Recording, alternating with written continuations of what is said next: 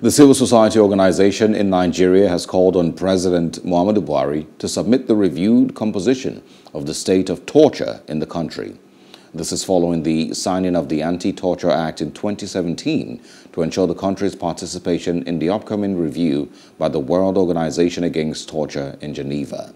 The group made the call in a joint discussion to talk about the state of security and the effect of counterterrorism strategies in the absence of these reports as a country that Nigeria will still be reviewed. So they have reached out to civil society organizations, those of us working around public safety security um, issues, PRAWA and the CLEEN Foundation to share with them a CSO report. So a CSO report is like a shadow report of what um, the state of torture is and if there have been progress around. And then also call on governments to also send its own report. We want these laws to be enforced, to be implemented. You don't just have laws and you don't implement it. And then once somebody is caught, or found guilty of doing this, then let the person be fully prosecuted and sanctioned. And, the, and it has to be done speedily. We, you know, we have, want to say no to impunity because that's how it continues. If somebody is tortured and nothing happens, then there's a problem.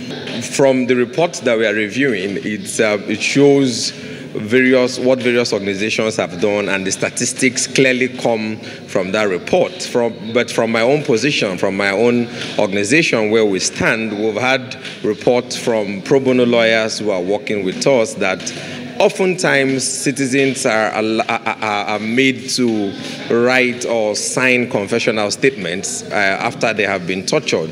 This is clearly against our own domestic laws. For instance, the ACJA and other laws is clearly illegal, but from reports, it shows that it still goes on in Nigeria. How many of our people do know that they are protected by the laws, you know, against torture, inhuman and degrading treatment? Have they actually accepted that torture should be part of our lives?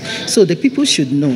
When you know your rights, you are able to appropriate your rights. But in ignorance, you think that everything that comes to you, you know, should be accepted. And knowing about your rights is equally standing on the rights and being able to report because without knowledge that somebody has been tortured, maybe somebody that is seeking accountability may not be able to do that because you equally need somebody to stand by to say, yes, this is my experience. I actually went through this. You can't go prosecuting as expected by the Anti Torture Act or punishing any officer without having evidence.